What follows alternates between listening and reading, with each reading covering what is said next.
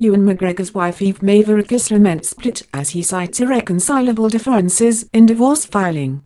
After going public with co-star Mary Elizabeth Winstead. Ewan McGregor's estranged wife Eve Mavrakis has spoken out for the first time since the actor filed for divorce following their split last May. Speaking to The Sun on Sunday, she said, It's disappointing and upsetting but my main concern is our four children are okay. Just hours before speaking out, it was revealed that Ewan cited irreconcilable differences in his divorce filing, which came to light late last year when he was seen kissing his Fargo co-star and now girlfriend Mary Elizabeth Winstead. TMZ report that the star is requesting joint custody of their three minor children, however claims Eve is asking for sole custody with visitation for Ewan. Ewan was married to Eve for 22 years and the couple share four daughters, including Clara, 21, Esther, 16, Jamyan, 16, and Anouk, 6. After over two decades of marriage, the pair split in May however did not publicly announce the news, yet six months later he was pictured kissing Mary, 33. Mail Online has contacted representatives for Ewan for comment.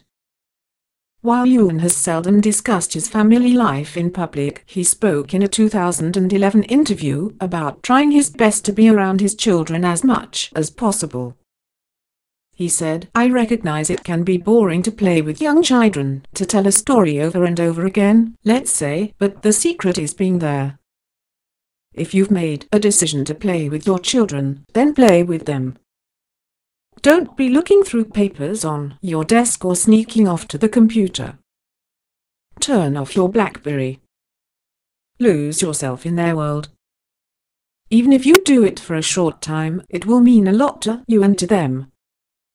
Since then, Ewan stunned fans at the Golden Globe Awards earlier this month when he took to the stage to accept his award for Outstanding Lead Actor in a Limited Series or a Movie and thanked both his ex-wife and girlfriend.